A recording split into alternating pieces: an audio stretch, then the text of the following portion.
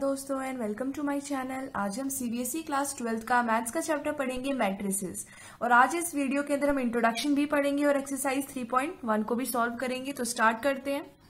तो सबसे पहले, जैसे आप एक चैप्टर का नाम पढ़ते हैं, आप सोचते हैं, आखिर ये है क्या चीज़? ठीक है? तो matrix is an ordered rectangular array of number of functions. The number of functions are called the elements or the entries of the matrix. Matrix क्या होता है? मैट्रिक्स एक रेक्टेंगुलर एरे होता है। एरे का मतलब क्या होता है कि कलेक्शन ऑफ़ नंबर्स या फिर कलेक्शन ऑफ़ ऑब्जेक्ट्स तो क्या होता है मैट्रिक्स एक ऑर्डर यानी कि ऑर्डर के अंदर जब हम अरेंज करते हैं नंबर या फिर फ़ंक्शंस को तो उसका जो रेक्टेंगुलर एक कॉम्बिनेशन होता है रेक्टेंगुलर जो अरेंजमेंट होता है, जो रेक्टेंगुलर अरे होता है, यानी कि जो रेक्टेंगुलर कलेक्शन होता है नंबर्स या फिर फ़ंक्शंस का और ये जो नंबर ऑफ़ फ़ंक्शंस होते हैं, जब इनको मैट्रिक्स के रेक्टेंगुलर एरे के अंदर काउंट किया जाता है, तब उन्हें यहाँ पे जो नंबर या फ़ंक्शन है, उन्हें एलिमेंट्स कहते हैं या फिर एंट्रीज कहते हैं। क्या समझ में आया आपको? ये जो मैट्रिक्स है, वो एक ऑर्डर होता है। मैट्रिक्स ऑर्डर होता है किस चीज़ का होता है? नंबर या फिर फ़ंक्शंस का। और जो ये जो अरेंजमेंट होती है रेक्टेंगुलर एरे के रूप में होती है। और ये जो नंबर या फिर फ़ंक्शन है, इन्हें हम एलिमेंट्स या फिर एंट्रीज कहते हैं मैट्रिक्स के। फिर ये मैट्रिसेस क्यों लिखा है? जो मैट्रिक्स होता है, उसका जो प्लूरल फॉर्म होता है, उसे हम मैट्रिसेस कहते हैं। यानी कि मैट्रिसेस क्या है? बहुवचन है किसका? मैट्रिक्स का, ठीक है? तो मैट्रिसेस क्या होगा? मैट्रिसेस एक ऑर्डर रेक्टेंगुलर एरे होगा, यानी कि ऑर्डर रेक्टेंगुलर कलेक्शन होगा नंबर या फिर फ़ंक्शंस का। नंबर तो हमें पता है फ़ंक्शंस जैसे कि साइन फ़ंक्शन हो गया कॉस फ़ंक्शन हो गया टेन हो गया कॉट हो गया सेक हो गया कॉसेक हो गया, ये सब क्या है? फ़ंक्शंस है। द नंबर ऑफ़ फ़ंक्शंस और जब हम ये मैट्रिक्स फॉर्म करते हैं रेक्टेंगुलर एरे के रूप में, हम उसे लिखते हैं तो ये जो नंबर ऑफ़ फ़ंक्शंस है, इन्हें हम एलिमेंट्स या फिर एंट्रीज कहते हैं उस मैट्रिक्स का। ठीक है, समझ आ गया मैट्रिक्स क्या होता है? अब रही बात हमारे यहाँ पे हमें करना क्या है इस चैप्टर में। तो हम इंट्रोडक्शन पता होगा, तभी हम एक्सरसाइज को सॉल्व कर सकते हैं, है ना? तो यहाँ पे लिखते हैं, देखो, सबसे पहले आपको पता होना चाहिए कि आखिर रोज क्या होती है और कॉलम क्या होती है। मान लो आपको एक ए यहाँ पे करके गिवन है, क्या गिवन है आपको? एक मैट्रिक्स गिवन है। जब हम मैट्रिक्स लिखते हैं, इस तरह हम ये वाले जो हमारे पास स्क्वायर ब्रैकेट होते हैं, उसके अंदर लिखते हैं, ठीक है? और यहाँ पे आप जो एलिमेंट्स लिखते हो, जैसे कि यहाँ पे लिख दिया fifteen six ten two, thirteen, five, इनके बीच में आपको कोई कॉमा नहीं लगाना होता है, ठीक है? कहीं आप यहाँ पे कॉमा लगा रहे हो बैठ के, नहीं। आपको इस तरह से यहाँ पे मैट्रिक्स लिखना है, ठीक है? अब यहाँ पे आपने एक रेक्टेंगुलर अरे भी बना दिया मतलब आपने क्या किया? ये जो नंबर्स है, आपने इसका एक कलेक्शन एक कॉम्बिनेशन बना दिया, ठीक है? वो भी एक ऑर्डर के अंदर, ठीक है? अब ये जो आपका एक एलिमेंट है, क्या है ये एक एलिमेंट है? या फिर आप इसको क्या कह सकते हैं? एंट्रीज भी कह सकते हैं। तो यहाँ पे प्रत्येक एक एक नंबर या फिर एक एक फ़ंक्शन जो इस मैट्रिक्स के अंदर प्रेजेंट होगा, उसे हम एलिमेंट या फिर एंट्री कहेंगे उस मैट्रिक्स का। अब रही बात यहाँ पे कौन सा कॉलम है, कौन सा हमारी यहाँ पे रो है। तो जो हमारा वर्टिकल होता है, क्या होता है? जो वर्टिकल होता है, ये क्या होता है हमारी? ये कॉलम होता है। और जब हमारा हॉरिजॉन्टल होता है ये हमारा रो होता है, ठीक है? ये आपको पता होना चाहिए। वर्टिकल मतलब ऐसे स्ट्रेट हो और हॉरिजॉन्टल मतलब इस तरह से हो, ठीक है? मतलब ये जो ऐसे होता है, ये हमारी रो होती है और ये जो ऐसे है वर्टिकली ये हमारे कॉलम होते हैं, ठीक है? तो ये हमारा एक कॉलम है। ये क्या अपना फ़र्स्ट कॉलम है। उसी तरह ये हमारा क्या है? सेकंड कॉलम है। और यहाँ पे कितनी रोज है? ये पहली रो है फ़र्स्ट रो ये पूरी सेकेंड रो है और ये पूरी थर्ड रो है। ये जो चैप्टर है, बहुत ही ज़्यादा इजी चैप्टर है। बस आपको इसका इंट्रोडक्शन पता होना चाहिए। इंट्रोडक्शन पता है तो जो एक्सरसाइज है, वो बहुत ही जल्दी हो जाती है, ठीक है? तो देखो, हमने रो भी लिख दी कॉलम भी लिख दिए, ठीक है? अब देखो, हमारे पास, हमें ये भी पता चल गया कि रो कौन सी होती है कॉलम कौन से होते हैं। बाकी इनका कुछ तो काम होगा, है ना? कि कितनी रोज है, कितने कॉलम है, इससे हमें पता चलता है ऑर्डर ऑफ़ अ मैट्रिक्स क्या पता चलता है, हमें यहाँ से पता चलता है कि मैट्रिक्स का जो ऑर्डर है वो क्या है, ठीक है? अगर आपको कभी कंफ्यूजन हो कि कौन सा हमारा कॉलम है, कौन सा रो है तो देखो जो वर्टिकल होता है, ये हमारा कॉलम है हॉरिजॉन्टल होता है, वो हमारी रो है। देखो, जब आप एच लिखते हो तो बीच में ये आप लगाते हो तो ये क्या है, ऐसे लेटा हुआ है तो ये क्या है रो है। वर्टिकल में आप टी लिखते हो, ऐसे लिखते हो टी तो टी क्या हमारा कॉलम है, ठीक है? जो हमारा ऐसे वर्टिकल रहेगा, जो ऐसे सीधा है, वो हमारी कॉलम है, और जो हमारा ऐसे लेटा हुआ है, वो हॉरिजॉन्टल होता है, यानी कि वो रो है, ठीक है? अब रही बात हमारे ऑर्डर ऑफ़ ए मैट्रिक्स की, यानी कि जो मैट्रिक्स है, ये तो जान लिया हमें क्या होता है, हमने ये जान लिया। अब हमें ये भी तो पता होना चाहिए कि जो ऑर्डर होता है, इसका मैट्रिक्स का वो क्या होता है? ऑर्डर ऑफ़ अ मैट्रिक्स अब हम ये पढ़ेंगे। ठीक है? ऑर्डर ऑफ़ अ मैट्रिक्स होता है, इसके अंदर मेन रोल किस चीज़ का होता है? रोज और कॉलम्स का। इससे हमें पता चलता है कि मैट्रिक्स का ऑर्डर क्या है, ठीक है? तो देखो, अगर आपको कोई एक मैट्रिक्स गिवन है, जैसे आपको ए इज़ इक्वल्स टू आपको यहाँ पे गिवन है फाइव फोर थ्री और टू ये आपको गिवन है, ठीक है? अब यहाँ पे आप बताओ कि कितने नंबर ऑफ़ रोज है और कितने नंबर ऑफ़ कॉलम्स हैं? एक कॉलम दो कॉलम यानी कि कॉलम्स कितने हैं? टू कॉलम्स है। रोज कितनी है? वन रो टू रो यानी कि रोज कितनी है? टू है, ठीक है? अब जब हम लोग ऑर्डर निकालते हैं, तब एम का मतलब क्या होता है? एम का मतलब होता है रोज जो हम, कितनी सारी रोज होती हैं, ये अनगिनत रोज हो सकती है ना। जैसे अभी हमने यहाँ पे फिक्स कर दी कि ये दो है, ये तो जाती जाएँगी जाती जाएँगी, हमें नहीं पता ये कहाँ तक जाएँगी, है ना। हम कितनी भी तो रोज बना सकते हैं तो उसको हम एम से डिनोट करेंगे। उसी तरह हम कितने भी कॉलम बना सकते हैं, वो एन से डिनोट करेंगे, ठीक है। एम क्या होता है? टोटल नंबर ऑफ़ रोज क्या होता है? टोटल नंबर ऑफ़ रोज उसी तरह एन क्या होता है? Total number of columns total number of columns ठीक है? एन क्या होता है? टोटल नंबर ऑफ़ कॉलम्स तो यहाँ टोटल कितने कॉलम है? यहाँ पे टोटल कितने कॉलम है? टोटल है टू कॉलम और रोज कितनी है? टोटल रोज है टू ठीक है? अगर आपको कहे कि ऑर्डर क्या है इस मैट्रिक्स का, आपको करना क्या है, आपको सिंपली दोनों को मल्टीप्लाई कर देना है। यानी कि ऑर्डर क्या होता है? Order of a matrix order of a matrix होता है total number of rows into में टोटल नंबर ऑफ़ कॉलम्स ठीक है? तो यहाँ पे कितना हमारा ऑर्डर बनेगा? यहाँ पे बनेगा टू इंटू टू यानी कि ऑर्डर कितना है? फोर है। ठीक है? अब देखो, एक है ना स्पेसिफिक रिप्रेजेंटेशन होता है किसी भी चीज़ का। उसी तरह यहाँ पे ऑर्डर ऑफ़ ए मैट्रिक्स का भी एक रिप्रेजेंटेशन होता है। ठीक है? ये जो एलिमेंट्स है, देखो हमने क्या किया? फाइव थ्री फोर और टू इसका जनरल फॉर्म क्या होगा? ठीक है? इसका जनरल फॉर्म क्या होगा? देखो ए इज़ इक्वल्स टू ये क्या है हमारा फ़र्स्ट ये हमारा ए एलिमेंट है, ठीक है? हमने मान लिया कि ये ए है। अब हमने ये फाइव को लिख दिया ए ठीक है? उसी तरह हम हर जगह लिख देंगे ए लिख दिया ए अब आप देखो, ये जो फाइव है, ये कौन से हमारे रो के अंदर है?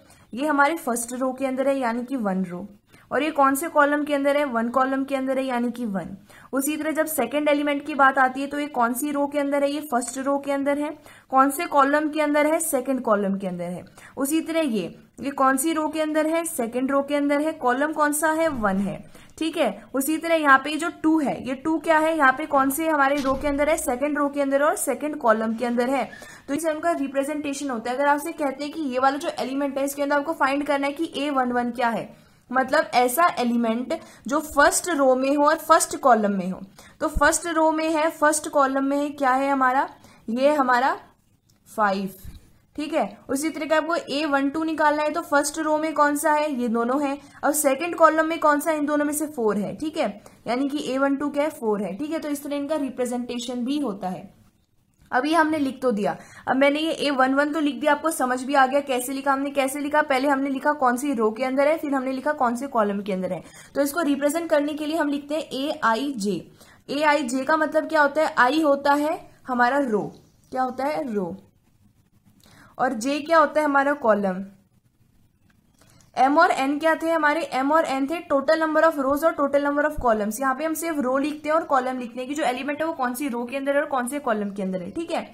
इस तरह इसको लिखते हैं। अब ये जो पूरा एलिमेंट होता है, यहाँ पे हम छोटा सा लिखते हैं एम इंटू में एन ये क्या होता है? हमारा ऑर्डर होता है हमारे गिवन मैट्रिक्स का, ठीक है? एम इंटू एन भी लिखते हैं यहाँ पे साथ में।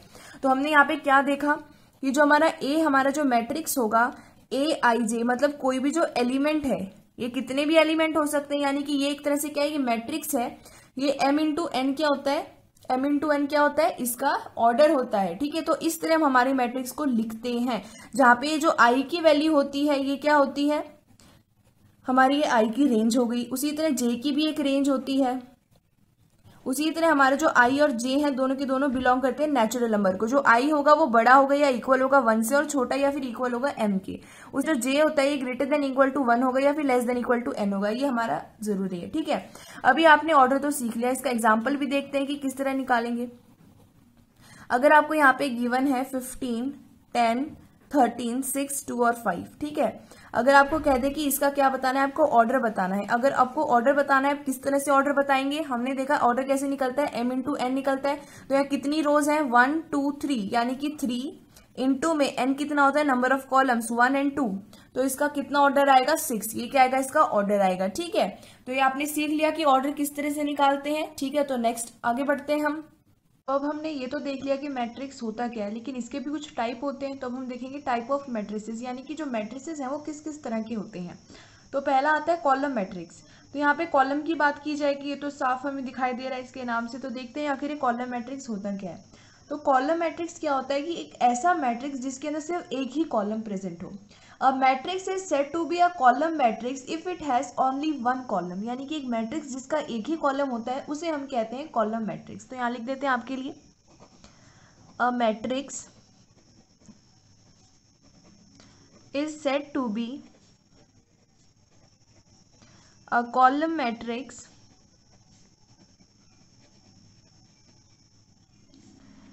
if it has only one column अगर उसके पास एक ही कॉलम है मैट्रिक्स के पास, तब हम उसे मैट्रिक्स को कॉलम मैट्रिक्स कहते हैं, ठीक है?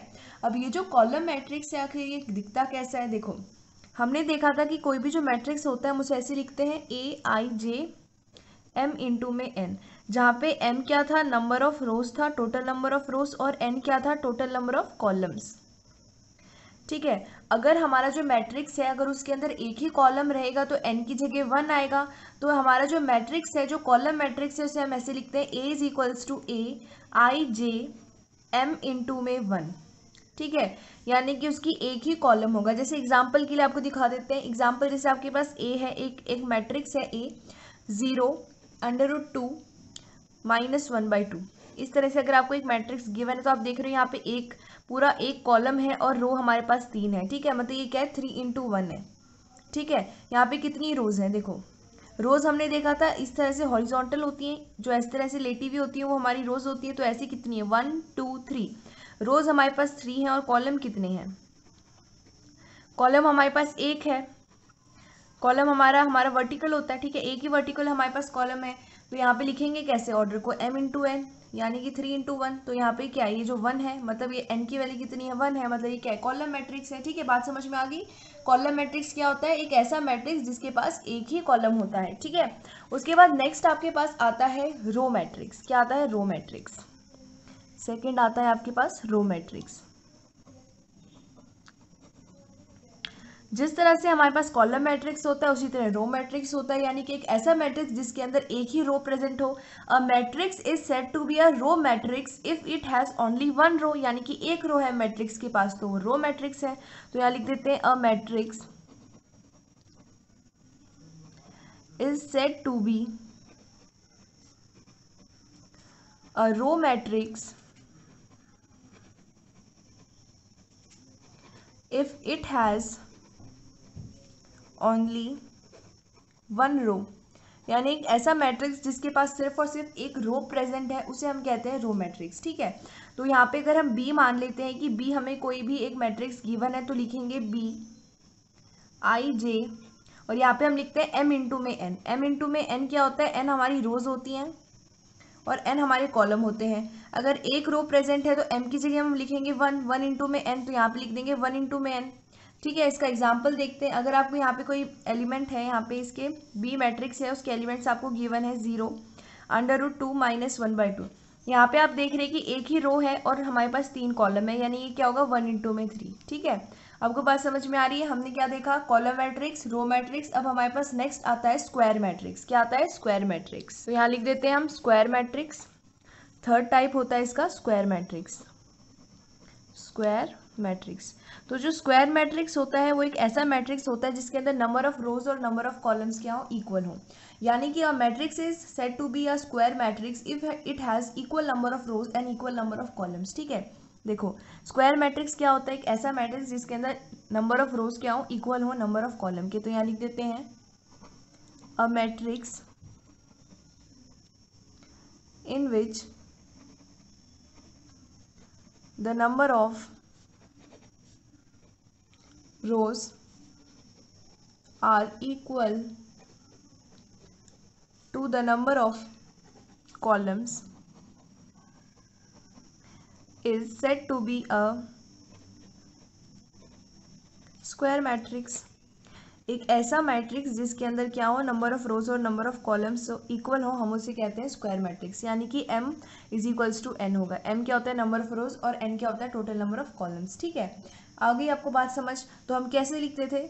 देखो, हम यहाँ लिखते थे, अगर बी हमारे पास कोई भी एक मैट्रिक्स है, हम लिखते थे बी आई जे यहाँ पे हम लिखते थे एम इंटू में एन तो जिस समय हम बात कर रहे हैं स्क्वायर मैट्रिक्स की, उस समय एम और एन क्या होंगे? इक्वल होंगे। तब हम कहेंगे कि जो हमारा मैट्रिक्स है, वो क्या है स्क्वायर मैट्रिक्स है, ठीक है? इसका एग्ज़ाम्पल देख लेते हैं। अगर आपको इस तरह से गिवन है three four five six seven eight nine ten eleven ठीक है? अगर ये आपको गिवन है, यहाँ पे आप लिखते हैं ऑर्डर तो ऑर्डर क्या होता है हमारा? ऑर्डर हमारा एम इंटू में एन होता है, यानी नंबर ऑफ़ रोज कितनी रोज है? वन टू थ्री इंटू में नंबर ऑफ़ कॉलम्स कितने हैं? वन टू थ्री यानी कि टोटल एलिमेंट्स कितने हैं? एलिमेंट नाइन है और हमारा ऑर्डर थ्री इंटू थ्री अगर आपको बोलते हैं कि ऑर्डर लिखना है, तब आपको सिर्फ़ थ्री इंटू थ्री लिखना है। अगर आपसे पूछते हैं कि इसके अंदर कितने एलिमेंट प्रेजेंट है, तब आप इनको मल्टीप्लाई करके दिखाओगे कि इतने, यानी कि यहाँ पे नाइन एलिमेंट्स प्रेजेंट है। ठीक है? अब यहाँ पे लिख देंगे थ्री इंटू में थ्री ठीक है? यहाँ पे आप देख रहे हैं कि एम और एन क्या इक्वल है, यानी कि क्या ये स्क्वायर मैट्रिक्स है। अब ये जो आपके एलिमेंट्स आए थ्री सेवन और इलेवन इन्हें हम कहते हैं डायगनल क्या कहते हैं? डायगनल कहते हैं, ठीक है? अब आपको बात समझ में आ रही है, हमने देख लिया तीन टाइप ऑफ़ मैट्रिक्स अब आगे की तरफ़ चलते हैं। अब जो हमारा फोर्थ टाइप ऑफ़ मैट्रिक्स होता है, वो होता है डायगनल मैट्रिक्स। एक जो डायगनल मैट्रिक्स होता है, वो एक ऐसा मैट्रिक्स होता है, जिसके अंदर हम मानते हैं कि जो स्क्वायर मैट्रिक्स है, यानी कि स्क्वायर मैट्रिक्स के लिए होता है डायगनल मैट्रिक्स। एक ऐसा स्क्वायर मैट्रिक्स जिसके क्या हो, जो नॉन डायगनल एलिमेंट है, यानी कि जो डायगनल नहीं है, वो सारे के सारे एलिमेंट ज़ीरो हों। ठीक है मतलब जो डायगनल है, सिर्फ़ वही न्यूमेरिकल वैल्यू प्रेजेंट होनी चाहिए, बाकी सारे एलिमेंट ज़ीरो प्रेजेंट होने चाहिए। उस स्क्वायर मैट्रिक्स को हम डायगनल मैट्रिक्स कहते हैं, ठीक है? देखो, यहाँ लिखते हैं a square matrix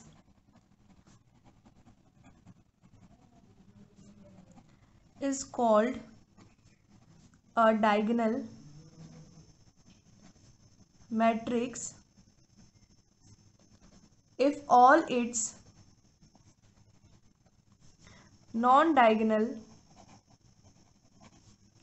elements are zero एक स्क्वायर मैट्रिक्स को हम डायगनल मैट्रिक्स कहते हैं जब उसके नॉन डायगनल एलिमेंट्स क्या हो ज़ीरो हो, ठीक है? इसका मतलब क्या हुआ? देखो यहाँ पे हम आपको बताते हैं, अगर मान लो आपके पास एक, हमारे पास ए क्या है? एक मैट्रिक्स है। इस तरह से एक यहाँ पे वन है, यहाँ टू है, यहाँ थ्री है, ठीक है? अभी देखो, यहाँ पे ये जो डायगनल है, ये हमारा डायगनल है। और इसके अलावा जितने भी ये नॉन डायगनल एलिमेंट्स हैं, ये सारे के सारे ज़ीरो हैं, इसका मतलब क्या है? ये एक हमारा क्या है? ये एक डायगनल मैट्रिक्स है। ये स्क्वायर मैट्रिक्स भी है। स्क्वायर क्यों है? क्योंकि अगर इसके ऑर्डर की बात करते हो तो थ्री इंटू थ्री इसका ऑर्डर है। यानी कि m is equals to n है। ठीक है स्क्वायर मैट्रिक्स है, लेकिन ये डायगनल मैट्रिक्स क्यों है? क्योंकि इसके नॉन डायगनल एलिमेंट सारे के सारे क्या है? ज़ीरो हैं। ठीक है? देखो, जब कोई भी एक एलिमेंट होता है, वो ज़ीरो कब होता है? जब आई और जे इक्वल नहीं होंगे। ठीक है? आपको बात समझ में आ रही जब आई और जे इक्वल नहीं होंगे, उस समय क्या होता है हमारे पास?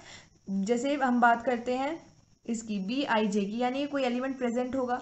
ये कब होगा इक्वल टू ज़ीरो जब i is not equal to j ठीक है, जब स्क्वायर मैट्रिक्स है, जिसके अंदर आई और जे इक्वल नहीं है, यानी कि नंबर ऑफ़ रोज और नंबर ऑफ़ एलिमेंट इक्वल नहीं है, उस समय क्या होगा? जो हमारा एलिमेंट होगा, वो ज़ीरो होगा। इस वजह से यहाँ पे क्या है? ज़ीरो है। ठीक है? आपको बात समझ में आ रही है? देखो, अगर हम इसको ऐसे लिखते हैं, अगर इसको ऐसे लिखते हो आप, ये वन वन है, ये वन टू है, ये वन थ्री है, उसी तरह ये टू वन है, ये टू टू है अब ये क्या है? हमारे पास टू थ्री है, ये थ्री वन है, ये थ्री टू है, अब ये थ्री थ्री है।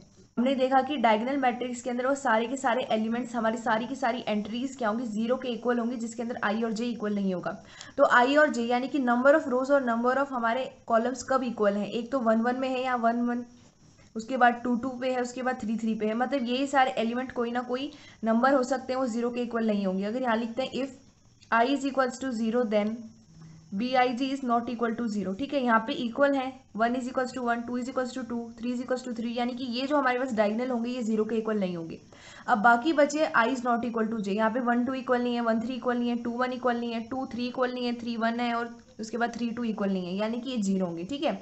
इस वजह से हमारे डायगनल मैट्रिक्स के अंदर नॉन जो हमारे पास डायगनल एलिमेंट होते हैं, वो सारे के सारे ज़ीरो होते हैं, क्योंकि सिर्फ़ डायगनल एलिमेंट्स जो होते हैं हमारे, उसी के अंदर क्या होता है? आई और जे इक्वल होते हैं. इसलिए वही सिर्फ़ नॉन ज़ीरो होंगे, बाकी सारे ज़ीरो होंगे। उस समय जो स्क्वायर मैट्रिक्स होगा, हम उसे डायगनल मैट्रिक्स कहते हैं, ठीक है? अब फिफ्थ टाइप ऑफ़ मैट्रिक्स देखेंगे। फिफ्थ होता है स्केलर मैट्रिक्स ठीक है? स्केलर का मतलब क्या होता है? स्ट्रेट होना यूनिफॉर्म होना, एक ही होना, ठीक है? तो a diagonal matrix is said to be a scalar matrix if its diagonal element are equal एक डायगनल मैट्रिक्स को हम स्केलर मैट्रिक्स कहते हैं जब उसके डायगनल एलिमेंट्स इक्वल होते हैं, ठीक है? अगर आपको एक मैट्रिक्स ए गिवन है, इस तरह से कि अगर आपको गिवन है यहाँ पे वन वन वन ये आपको एक मैट्रिक्स गिवन है। आप यहाँ पे देख रहे हो कि जो डाइनल एलिमेंट है, वो सारे के सारे कांस्टेंट है, यानी कि वन है। इस समय ये क्या है? ये थ्री इंटू थ्री है, यानी कि हमारे यहाँ पे ये क्या है? स्क्वायर मैट्रिक्स को भी रिप्रेजेंट कर रहा है, ठीक है? जिसके अंदर यहाँ पे इसका ऑर्डर क्या है? थ्री इंटू थ्री है। देखो, जब दोनों सेम होते हैं, उस समय हम ऑर्डर क्या लेते हैं? थ्री लेते हैं, ठीक है? जब दोनों इक्वल है तो एक ही ऑर्डर लेंगे, यानी कि थ्री लेंगे, ठीक है? उसी तरह यहाँ पे आप देख रहे हो कि डायगनल एलिमेंट क्या है? इक्वल है। यहाँ पे सारे के सारे डायगनल एलिमेंट क्या है? इक्वल है। ज़रूरी नहीं है कि वो वन ही हो, जैसे कि ये ऐसे भी हो सकता है। अंडर रूट थ्री ठीक है? बस यहाँ पे ये इक्वल होने चाहिए, यानी कि जो डायगनल एलिमेंट है, उनको इक्वल होना चाहिए। और ये ज़रूरी नहीं कि सिर्फ़ ऑर्डर नंबर थ्री के लिए ही हो। ये ऐसे भी हो सकता है, अगर आपको एक बी हमारे पास मैट्रिक्स गिवन है और यहाँ minus one minus one given हो। यहाँ पे भी डायगनल एलिमेंट्स इक्वल है तो ये क्या है? एक स्केलर मैट्रिक्स है, ठीक है? यानी कि एक ऐसा डायगनल मैट्रिक्स जिसके अंदर क्या हो? डायगनल एलिमेंट इक्वल हो, ठीक है? उसे हम कहते हैं स्केलर मैट्रिक्स ठीक है? ये आपका फिफ्थ टाइप था। आता है सिक्स टाइप ऑफ़ मैट्रिक्स तो जो सिक्स टाइप है, वो होता है आइडेंटिटी मैट्रिक्स जिसे हम आई एन से डिनोट करते हैं, ठीक है? आइडेंटिटी मैट्रिक्स क्या होता है? एक ऐसा स्क्वायर मैट्रिक्स जिसके अंदर जो डायगनल के एलिमेंट होते हैं, वो सारे के सारे वन होते हैं और बाकी सारे एलिमेंट ज़ीरो होते हैं, ठीक है? यानी कि यह square matrix in which elements in the diagonal are all one and rest are all zero is called an identity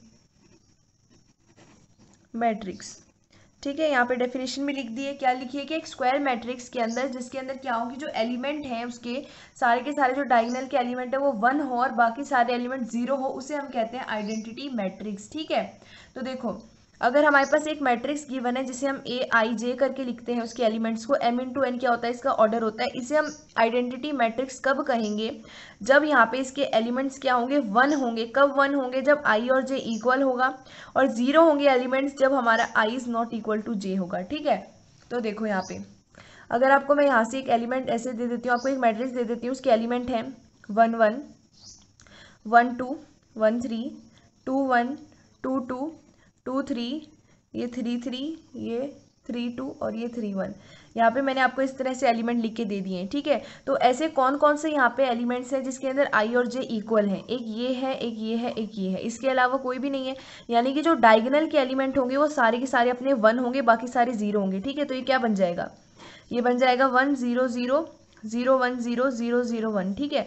तो ये जो है, ये है हमारा आइडेंटिटी मैट्रिक्स ये एक स्क्वायर मैट्रिक्स है। क्यों है? क्योंकि यहाँ पे नंबर ऑफ़ रोज और नंबर ऑफ़ हमारे जो कॉलम है, वो इक्वल है। दूसरी बात, इसके डायगनल क्या है? सारे इक्वल है और वन है। बाकी सारे एलिमेंट ज़ीरो है, इसीलिए क्या ये आइडेंटिटी मैट्रिक्स है, ठीक है? हमने क्या समझा कि हर एक एक आइडेंटिटी मैट्रिक्स स्केलर मैट्रिक्स होता है। स्केलर मैट्रिक्स वो मैट्रिक्स जिसके अंदर डायगनल इक्वल होते हैं और आइडेंटिटी मैट्रिक्स वो मैट्रिक्स जिसके अंदर डायगनल क्या होते हैं? वन होते हैं। सारे इक्वल है मतलब ये स्केलर मैट्रिक्स है। लेकिन हर एक एक स्केलर मैट्रिक्स एक आइडेंटिटी मैट्रिक्स नहीं होता। स्केलर मैट्रिक्स में डायगनल कुछ भी हो सकते हैं, लेकिन इक्वल होने चाहिए। अंडर रूट थ्री हो सकता है अंडर रूट टू हो सकता है। अगर सारे अंडर रूट टू है तो भी वो स्केलर मैट्रिक्स है, लेकिन वन होना ज़रूरी है। इसलिए वो आइडेंटिटी मैट्रिक्स तभी होगा स्केलर मैट्रिक्स जब उसके डायगनल क्या होंगे? वन होंगे। इसलिए हमेशा याद रखना है कि हर एक एक आइडेंटिटी मैट्रिक्स एक स्केलर मैट्रिक्स होता है, लेकिन हर एक एक स्केलर मैट्रिक्स आइडेंटिटी मैट्रिक्स नहीं होता है, ठीक है? अब हमारा सेवन्थ मैट्रिक्स आता है ज़ीरो मैट्रिक्स ज़ीरो मैट्रिक्स जैसा हम नाम से समझ रहे हैं, इसमें कुछ ना कुछ ज़ीरो से ही होगा।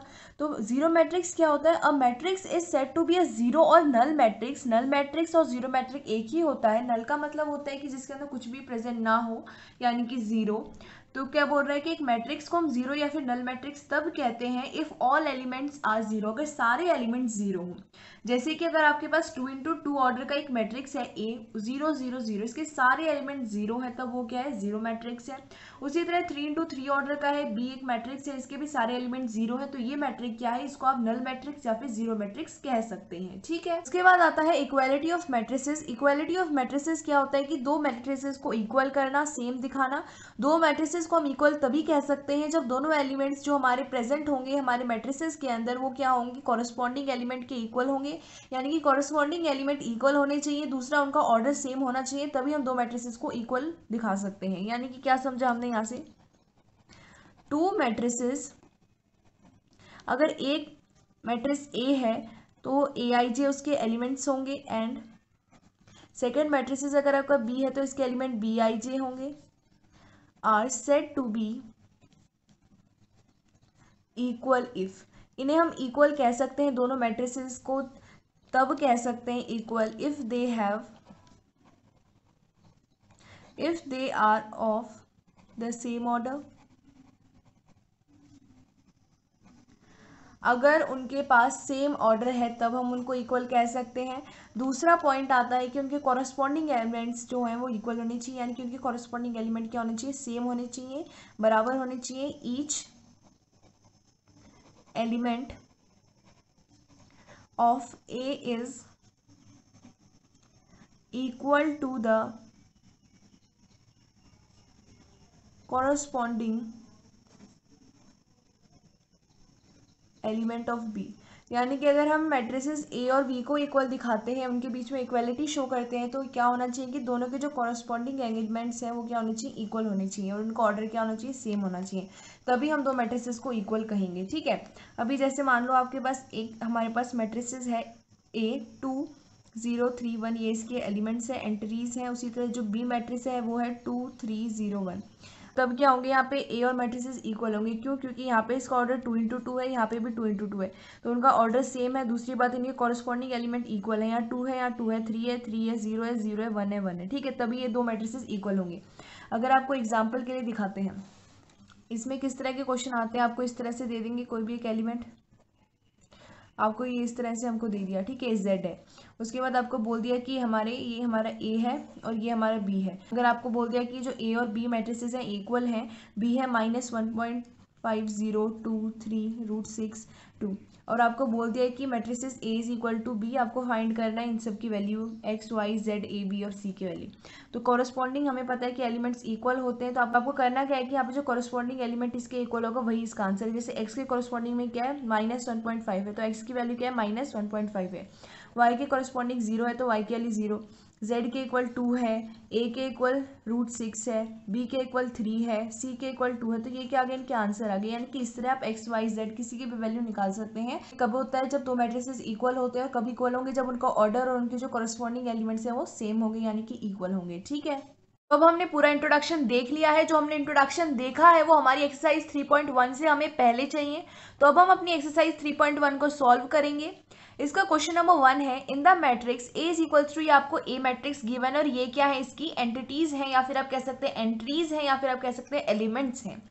हम यूज़ करेंगे कि इसके एलिमेंट्स हैं। राइट right, आपको इसके तीन पार्ट गिवन है। इसके फ़र्स्ट पार्ट है the order of the matrix आपको क्या करना है कि ये जो आपको मैट्रिक्स ए गिवन है आपको इसका ऑर्डर लिखना है ठीक है? तो जब हमने इंट्रोडक्शन मैंने आपको बताया तब मैंने आपको बताया था कि ऑर्डर ऑफ़ अ मैट्रिक्स कैसे निकालते हैं? Order of the matrix. ये कैसे निकाला जाता है? ये निकाला जाता है total number of rows into total number of columns. हमने देखा था कि जब हम टोटल नंबर ऑफ़ रोज और टोटल नंबर ऑफ़ कॉलम्स को मल्टीप्लाई करते हैं, तब हमें ऑर्डर मिलता है गिवन मैट्रिक्स का। तो यहाँ पे टोटल नंबर ऑफ़ रोज कितनी है? रोज हमने देखा था जो हॉरिजॉन्टल होती हैं, वो रोज होती हैं और जो वर्टिकल होते हैं, वो कॉलम होते हैं। तो यहाँ पे वन टू थ्री यानी यहाँ पे रोज कितनी है? यहाँ पे तीन रोज हैं और रही बात कॉलम की वन टू थ्री फोर यहाँ पे कितने कॉलम हैं? यहाँ पे हैं फोर कॉलम्स तो यहाँ पे हमें ऑर्डर कैसे मिलेगा? एम इंटू एन करके एम क्या था? नंबर ऑफ़ रोज था और एन क्या था? टोटल नंबर ऑफ़ कॉलम्स था। Total number of rows into total number of columns क्या हो जाएगा? एम इंटू एन ये हो जाएगा थ्री इंटू में फोर ये आपका ऑर्डर आ गया। मैंने आपको बताया था, क्या बताया था कि जब हम ऑर्डर लिखते हैं, तब हमें बस इतना ही लिखना है। थ्री इंटू फोर इसको मल्टीप्लाई नहीं कर रहा है। ठीक है? जब हमें पूछे जाएगा कि आपको एलिमेंट्स कितने हैं, ये बताना तभी आपको इसको मल्टीप्लाई करके दिखाना है। जब ऑर्डर पूछेंगे, तब इसको मल्टीप्लाई नहीं करना है। ठीक है? अब इसका सेकेंड पार्ट देखेंगे। इसका सेकेंड पार्ट क्या बोलता है? The number of elements the number of elements अब आपसे पूछा गया है कि यहाँ पे कितने एलिमेंट्स प्रेजेंट हैं, ये आपसे पूछा गया है, ठीक है? तो कितने एलिमेंट्स प्रेजेंट है? थ्री इंटू में फोर, यानी कि ट्वेल्व। यहाँ पे टोटल कितने एलिमेंट्स हैं? ट्वेल्व एलिमेंट्स प्रेजेंट हैं, ठीक है? अब आपका इसका थर्ड पार्ट गिवन है राइट द एलिमेंट्स आपको क्या करने हैं? जो आपको यहाँ पे बताया है कि ये एलिमेंट्स को फाइंड करना है, वो एलिमेंट फाइंड करने तो आपसे कौन कौन से पूछे हैं? ए वन थ्री पूछा है ए टू वन पूछा है ए थ्री थ्री पूछा है ए टू फोर और ए टू थ्री आपसे ये पूछा है आपको बताने की एलिमेंट्स कौन कौन से हैं, ठीक है? तो सबसे पहली बात आती है हमारी ए वन थ्री की। ठीक है तो ए वन थ्री क्या है कि फ़र्स्ट रो में है और हमारा थर्ड कॉलम में है। ये किस तरह से लिखे जाते हैं? ए आई जी तो आई क्या था? हमारा रो था और जे क्या था? कॉलम था। तो ए वन थ्री ठीक है? तो ये देखो, ये जो आपका मैट्रिक्स ए है, इसके अंदर ए वन थ्री कौन सा है? फ़र्स्ट रो के अंदर प्रेजेंट होना चाहिए थर्ड कॉलम के अंदर, यानी नाइनटीन नाइनटीन क्या है आपका? ए वन थ्री एलिमेंट है। यहाँ पे लिख देते हैं नाइनटीन यहाँ पे मैं आपके लिए यहाँ पे लिख देती हूँ। आपको बार बार ऐसे ऊपर नहीं देखना पड़ेगा। Two, thirty five under root three five minus two one nineteen five by two minus five minus seven twelve और सेवनटीन ये है हमारा मैट्रिक्स ए अब यहाँ पे ए वन थ्री क्या है? फ़र्स्ट रो के अंदर थर्ड कॉलम के अंदर नाइनटीन है, फिर ए टू वन यानी कि सेकेंड रो का एलिमेंट है और फ़र्स्ट कॉलम में है, जो है थर्टी फाइव उसके बाद है ए थ्री थ्री यानी कि थर्ड रो और थर्ड कॉलम तो थर्ड रो ये है और थर्ड हमारे कॉलम के अंदर ये हमारा प्रेजेंट है, यानी कि ए थ्री थ्री क्या है? माइनस फाइव फिर ए टू फोर कौन सा है? सेकेंड रो के अंदर है. उसके बाद कॉलम कौन सा है? फोर यानी कि वन टू थ्री फोर तो ट्वेल्व क्या है? ए टू फोर है. उसके बाद ए टू थ्री क्या आता है? सेकेंड हमारी रो के अंदर होगा third column one two three यानी कि फाइव बाई टू तो ये हमसे एलिमेंट पूछे थे जो हमने यहाँ पे बता दिए हैं. ठीक है? अब इसका सेकंड क्वेश्चन देखेंगे। If a matrix has 24 elements what are the possible orders it can have what if it has 13 elements आपको क्या बोला है कि एक मैट्रिक्स है, इसके पास 24 टोटल एलिमेंट्स हैं। आपको बताने कि कौन कौन से पॉसिबल ऑर्डर्स को रख सकते हैं, यानी कि इसके कौन कौन से पॉसिबल ऑर्डर बनेंगे। उसके बाद पूछा है कि जो मैट्रिक्स है, अगर इसके अंदर थर्टीन एलिमेंट्स है तो उसके क्या पॉसिबल ऑर्डर्स हैं? तो इसका आंसर देखते हैं। कोई भी जो मैट्रिक्स होता है, उसका ऑर्डर कैसे लिखते हैं हम? उसका ऑर्डर लिखते हैं हम एम इंटू में एन करके। यहाँ पे आपको फ़र्स्ट केस के अंदर क्या गिवन है कि जो ऑर्डर है वो क्या है? ट्वेंटी फोर एलिमेंट्स के इक्वल है। ठीक है, यहाँ पे आपके पास कितने एलिमेंट्स हैं? ट्वेंटी फोर एलिमेंट है तो यहाँ पे क्या ऑर्डर बन सकता है इसका? तो ट्वेंटी फोर को आपको इस तरह से टुकड़े में बांट के करना है एम इंटू में एन तो वन से स्टार्ट करेंगे वन इंटू ट्वेंटी फोर क्या आता है? ट्वेंटी फोर यानी कि ट्वेंटी फोर एलिमेंट हो रहे हैं और एम इंटू एन के फॉर्म में है। ठीक है, उसके बाद टू से टू इंटू जा क्या करेंगे? ट्वेंटी फोर है ट्वेल्व फिर ये थ्री से जाता है तो थ्री से थ्री इंटू एट उसके बाद फोर से भी जाता है फोर सिक्स जा सिक्स फोर जा. उसके बाद जाता है सेवन से नहीं जाता एट से जाता है एट इंटू थ्री फिर ट्वेल्व इंटू में टू उसके बाद आता है ट्वेंटी फोर इंटू में वन तो ये सारे पॉसिबल ऑर्डर्स हैं, जिसके अंदर आप ये जो हमारे पास 24 एलिमेंट वाला मैट्रिक्स है, उसके ऑर्डर्स बना सकते हैं. उसके बाद आपसे इसी क्वेश्चन के अंदर पूछा है कि अगर जो मैट्रिक्स है, उसके अंदर 13 एलिमेंट है तो आप किस तरह से पॉसिबल ऑर्डर्स बनाएँगे? ठीक है? तो यहाँ लिख देते हैं इफ़ एलिमेंट्स। अगर आपके पास ये थर्टीन एलिमेंट्स हैं, ठीक है तो आप किस तरह से ऑर्डर बना सकते हैं? जो थर्टीन है, उसको हम इस तरह से एम इन टू एन करके दो ही तरीकों से लिखा जा सकता है। एक तो इसको वन इंटू थर्टीन लिख सकते हैं, या फिर आप इसको लिख सकते हैं थर्टीन इंटू में वन उसके अलावा ये जिस तरह से आप इसके फैक्टर्स बन गए, उस तरह से इसके फैक्टर्स नहीं बनेंगे, इसलिए वन इंटू थर्टीन और थर्टीन इंटू वन क्या इसके पॉसिबल ऑर्डर्स है, ठीक है? इसका क्वेश्चन नंबर थ्री देखते हैं। If a matrix has 18 elements what are the possible orders it can have what if it has five element फिर से ये क्वेश्चन है। इस तरह का हमने एक और कर लिया, जो क्वेश्चन नंबर सेकंड था। हमें क्या बोला कि एक मैट्रिक्स है, उसके पास 18 एलिमेंट है, उसके क्या पॉसिबल ऑर्डर हो सकते हैं, हमें ये बताना है। और अगर यही मैट्रिक्स है, अगर इसके अंदर सिर्फ़ और सिर्फ़ फाइव एलिमेंट प्रेजेंट है, तब क्या उसके पॉसिबल ऑर्डर होंगे, हमें ये बताना है। तो इसका आंसर देखते हैं। तो सबसे पहले हम तब के लिए ऑर्डर बनाएँगे जब हमारे पास कितने एलिमेंट्स होंगे? एटीन होंगे। तब उसके लिए ऑर्डर क्या क्या बन सकता है? ऑर्डर ऑफ़ मैट्रिक्स अब हमें पता है कि एटीन के फैक्टर किए जा सकते हैं। वन इंटू एटीन हो गया। ठीक है, अब यहाँ पे वन इंटू एटीन है तो एटीन इंटू वन लिख देते हैं। उसके बाद वन के बाद टू पे आ जाते हैं। टू नाइन ज़ा एटीन होता है नाइन टू ज़ा एटीन होता है। उसके बाद थ्री इंटू सिक्स होता है। उसके बाद सिक्स इंटू थ्री होता है। ये क्या इसके पॉसिबल ऑर्डर आ गए हमारे मैट्रिक्स के लिए जब हमारे पास एलिमेंट एटीन है। उसके बाद जब हमारे पास सिर्फ़ और सिर्फ़ एलिमेंट कितने हैं? फाइव हैं। अब फाइव से कोई इसका फैक्टराइजेशन तो आप इस तरह से कर नहीं सकते तो इसको ऑर्डर क्या बनेगा? There four order of matrix कितना बनेगा इसका? एक तो बनेगा वन इंटू फाइव और एक बनेगा फाइव इंटू में वन यही दो इसके ऑर्डर्स बन सकते हैं, ठीक है? तो ये था हमारा क्वेश्चन नंबर थ्री